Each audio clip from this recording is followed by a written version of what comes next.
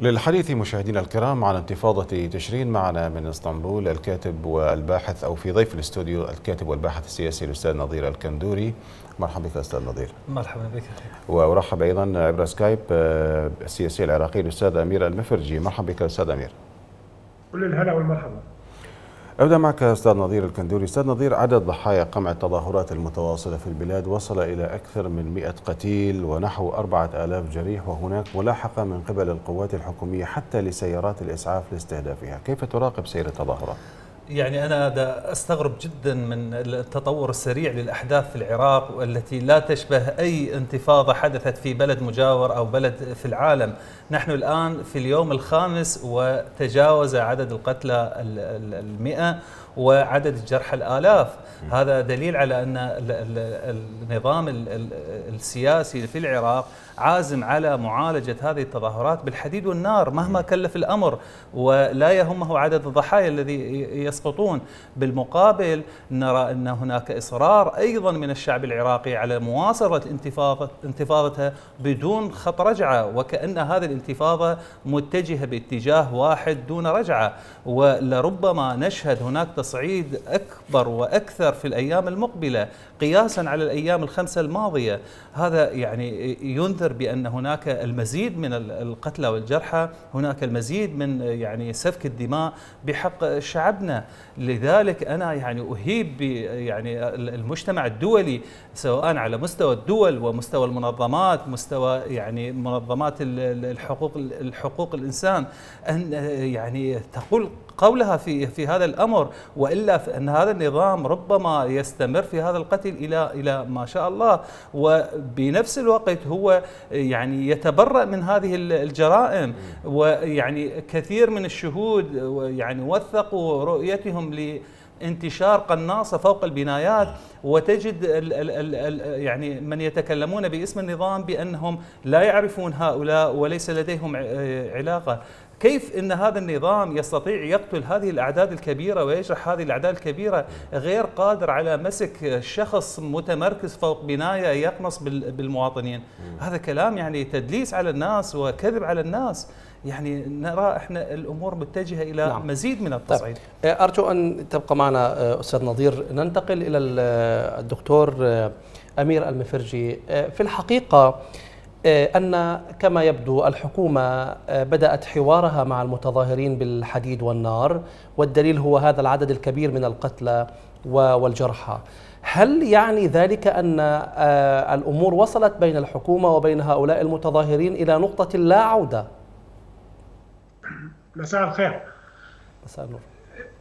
لا شك أن الصوت يرجع لي مرة ثانية. آه،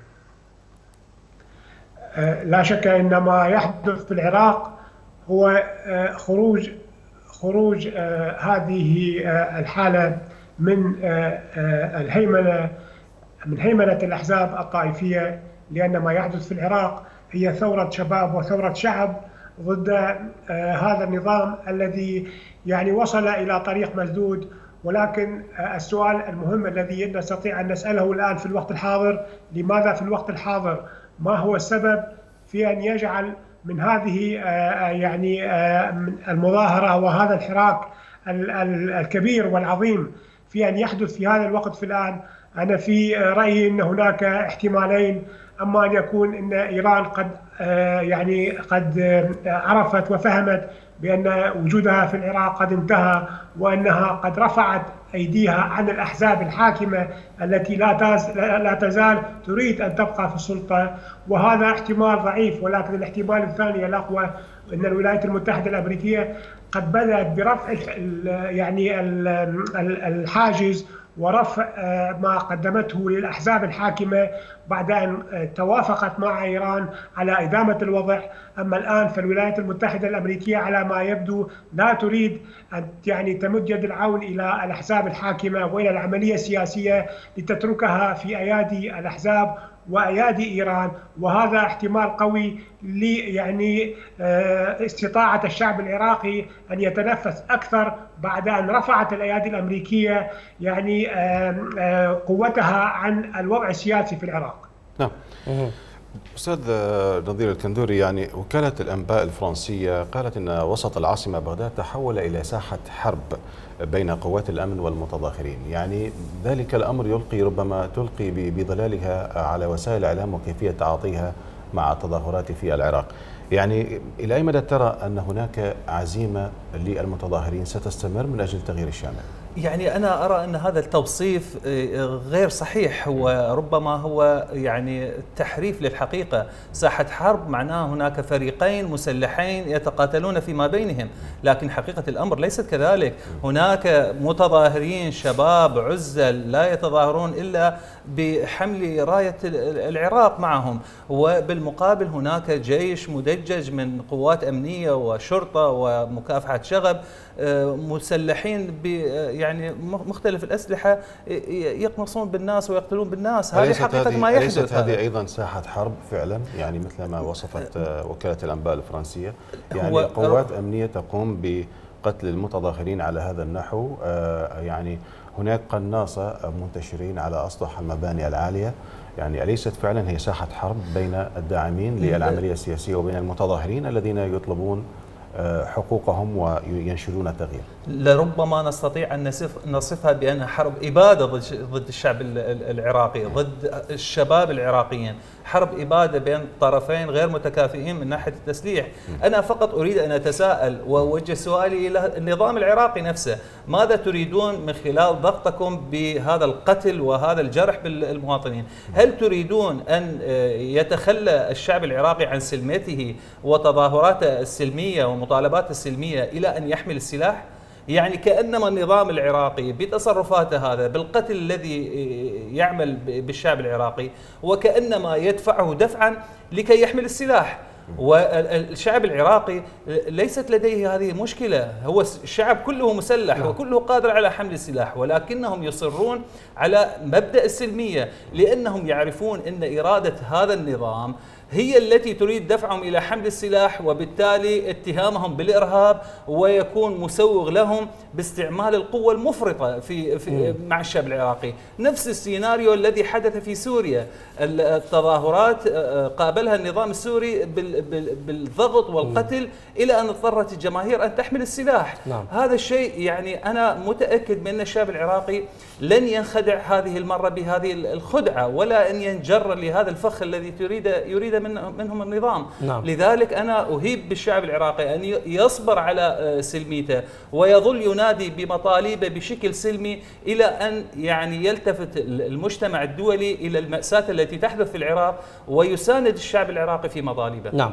آه، أستاذ أمير من باريس كما تلاحظ معنا وهذا الشيء يلفت الانتباه في الحقيقة أن المواجهة الرئيسة للمتظاهرين ليست فقط مع الحكومة آه، الفاسدة كما يصفونها إنما أيضا مع مقار الأحزاب والميليشيات هناك في العراق والآن تتواتر أخبار عن إحراق مقرات الميليشيات والأحزاب بالكامل في الناصرية على سبيل المثال ماذا يعني لكم كمراقبين ومحللين متابعين للقضية العراقية؟ آه، شيء طبيعي إنما آه، يعمل يعمل به الآن من قبل هذا الشباب شباب يعني الثائر ضد الوضع هو الذهاب إلى يعني آه، نقطة المشكلة في العراق. ألا وهي هذه الأحزاب التي هي التي هي مسؤولة عما يحدث، صحيح أن الولايات المتحدة الأمريكية هي التي جاءت بهذه الأحزاب واعطت إيران الضوء الأخضر لعملية سياسية فاشلة وعملية غير نزيهه طائفية يعني اعتمدت على التفريق العرقي والطائفي الديني بين العراقيين. العراقيون بعد مدة طويلة كانت على رقابهم سيوف الاحتلال الأمريكي وسيوف آه، الاحتلال الإيراني ولكن ما يحدث الآن في الساحة الدولية من مشاكل آه، إيرانية أمريكية قد ألقت بدون شك ظلالها على الوضع العراقي.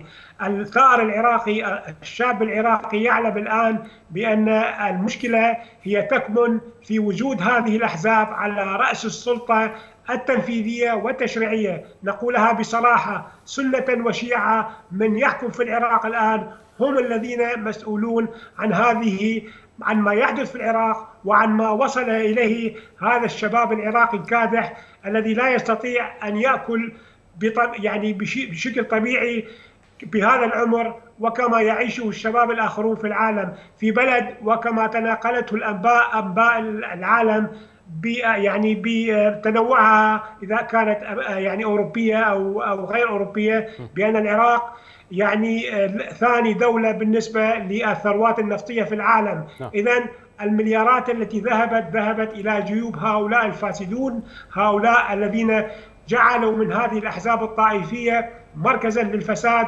ولسرقة أموال الأموال العامة ولذل العراقيين ولجعل العراق مزرعة إيرانية وحديقة نعم. إيرانية للبقاء في السلطة لمدة أكثر، اذا العراقي نعم. قد فهم وأنا متأكد بأن ما يحدث في العراق هي بداية ثورة سوف لا تنتهي إلا بإبدال هذا النظام الفاسد الذي جرى العراقيين المر. لا ابقى معنا أستاذ أمير المفرجي. صحيفة اي البريطانية أيضا ذكرت في تقرير لها أن العراق يتأهب لنقطة تحول مهمة في تاريخه الحديث. يعني قمع بالرصاص وعود بتحسين الحال. يبدو أن الحكومة هذه لم تتعظ من تجارب سابقاتها. ما جاء في صحيفة آي البريطانية من نقطة تحول في تاريخه الحديث؟ يعني ما هي نقطة التحول المتوقعة من وجهة نظرك؟ أنا أرى ما يعني في هذه الانتفاضة هي مختلفة عن كل التظاهرات التي خرجت في السابق. ربما كانت يعني مظاهرات مطلبية أو ربما كانت بنفس المطالب الحالية ولكنها كانت قصيرة أو عدد قليل. الشيء الجديد في هذه الانتفاضة بأن الشعب العراقي وصل إلى قناعة بأن لا يعني مجال لإصلاح النظام إنما لإسقاط النظام برمته. ولو تلاحظ بأن الآن المنتفضين لا تردعهم القمع المسلح الذي يحدث ولا تردعهم كل الإجراءات الأمنية بل حتى الخدع التي يقوم بها بمفاوضات وغير مفاوضات وبأنه سنوزع قطع أراضي ونصرف رواتب للعوائل. هذا الكلام والوعود التي لن يتحقق منها شيء. بدأت لن تنطلي على الشعب العراقي. هو عازم على تغيير هذا النظام تماما. فهي تعتبر فعلا نقطة تحول بالشعب بتاريخ العراق. ماذا لو استمرت عمليات القتل أكثر من 100 قتيل حتى الآن من في صفوف المتظاهرين؟ أنا أقول يعني كل الشعوب التي أخذت حريتها دفعت ثمنها دما. أنا أقول شيء آخر. لو إن الشعب العراقي لا ينتفض هل هل سينجيه هذا من تقديم التضحيات؟ نحن ندفع تضحيات بسبب التردي الصحي ندفع التضحيات بسبب الحروب الداخلية ندفع تضحيات بسبب التجنيد في في الميليشيات وقتلهم في سوريا ومع ذلك ندفع أضعاف ما سندفعه في ثورة تغير هذا النظام إلى نظام أفضل. لذلك أنا يعني أهيب بالشعب العراقي أن يستمر في ثورته ومهما دفع تضحيات فهي لن تكون إلا جزء بسيط من التضحيات التي يدفعها كل يوم التضحيات مستمرة عند الشعب العراقي نعم. هي لم تتوقف بحادثة. معينة لكن عندما ينتفض ويدفع التضحيات لأجل حريته وكرامته التي امتهنت طيلة هذه الستة عشر سنة سوف يكون هناك تحول نوعي في في مستقبل العراق وهذه الانتفاضة لها ما بعدها وستكون نقطة تحول حقيقية في مستقبل ربما ستكون كذلك أستاذ أمير لكونها ليست فقط انتفاضة مطلبية كما يجري الحال في بعض الدول الأخرى لأمور خدمية وكذا. هي أيضا انتفاضة سياسية ضد الفساد وضد ما جاء بالعراق في العملية السياسية منذ الاحتلال عام 2003 وحتى هذه اللحظة. وهي انتفاضة أيضا اقتصادية. نحن نتحدث عن انتفاضة بمعنى الكلمة لا تأخذ بعدا خدميا أو مطلبيا كما تعرفون. بين وأسف للإطالة بالسؤال. بين مطالب المتظاهرين وإجراءات الحكومة التي أعلن عنها على لسان رئيس البرلمان ورئيس الحكومة أين يمكن الوقوف؟ في أي نقطة يمكن الوقوف بين تلك المطالب؟ في الحقيقة انما يعني عبرت عليه هذه يعني الحشود الكبيرة من العراقيين. كانت عبارات واضحة. كانت عبارات يعني لا ليس لها مرجعية طائفية. ايا كانت. نحن رأينا في عيون وضمائر هذا يعني التجمع الشبابي في العراق نوع من الإحساس الوطني والشعور بالمواطنة. يقولون بأنهم عراقيون قبل أن يكونوا شيعة أو سنة. يقولون بأنهم عراقيون قبل أن يكونوا صدريون أو حكيميون وما وما شاكل ذلك.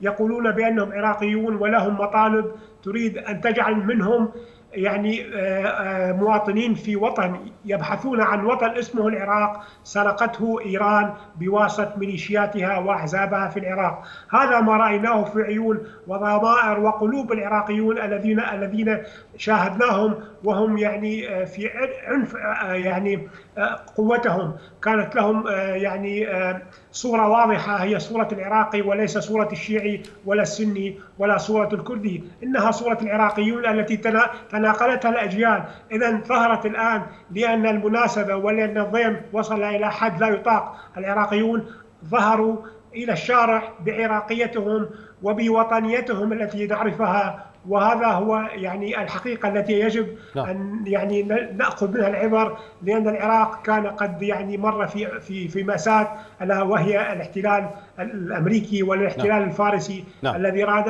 أن يجعل اسمح لي في هذه النقطة ننتقل للأستاذ يعني أجنداتهم وإلى ما نعم يريدون أن يعملوا به في هذه المنطقة. نعم دكتور أمير المفرجي. أستاذ نظير الكندوري يعني هناك من يرى أن هذه التظاهرات آه، هي هزيمة للمشروع الإيراني في العراق. إلى أي مدى تأثر المشروع الإيراني فعلا من خلال هذه التظاهرات في العراق؟ يعني بالتأكيد هذا توصيف صحيح. يعني ما هي الدلائل على هزيمة المشروع؟ الدلائل واضحة كضوء الشمس. يعني عندما يخرج المتظاهرون ويستهدفون مقرات الميليشيات التابعة لإيران. عندما يستهدفون مقرات الأحزاب التابعة لإيران. عندما يهتفون بإيران برا برا بغداد تبقى حرة. ماذا نريد دليل أكثر من ذلك؟ البارحة أرى أحد مقاطع الفيديو وهم يحملون جواز سفر لإيراني. ربما كان أحد القناصين أو أحد الذين يقاتلون مع القوات النظام ضد المتظاهرين. ويقولون له إن شئت أن تأخذ الباسبورت آه، يعني مالتك تعلم الظاهرين. بتحدي وإصرار للنفوذ الإيراني.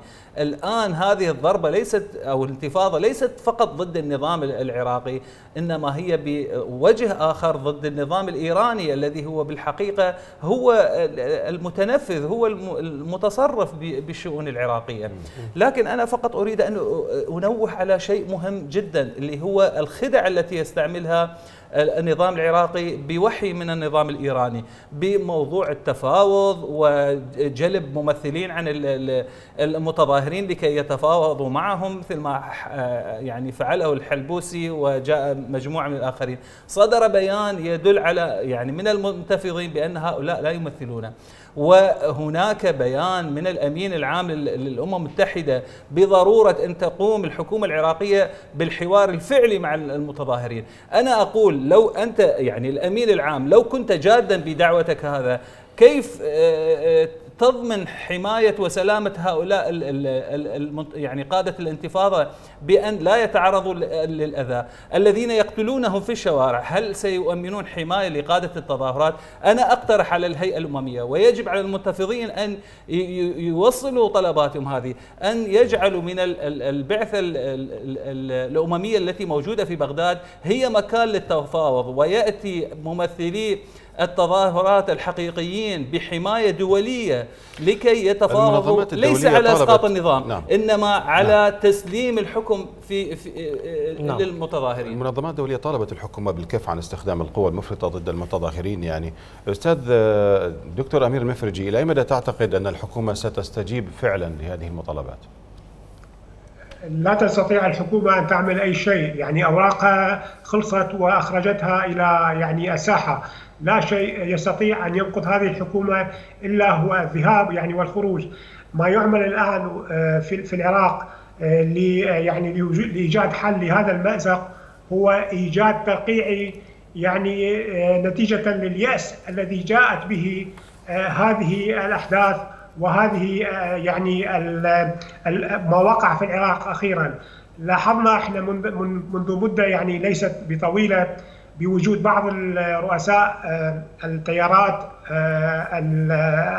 الطائفية في في قم وفي طهران. أنا في نظري هناك ترتيب من هذه الأحزاب والأطياف لإيجاد حل ترقيعي في حالة يعني تم إبعاد رئيس الوزراء الحالي من نعم. الحكم نعم. و... نعم. شكرا لك أستاذ أمير المفرجي. كنت معنا عبر سكايب السياسي العراقي كما اشكر ضيفي في الاستوديو ضيفنا في الاستوديو الكاتب والباحث السياسي الأستاذ نظير الكندوري. شكرا جزيلا شكرا شكرا جزيلا.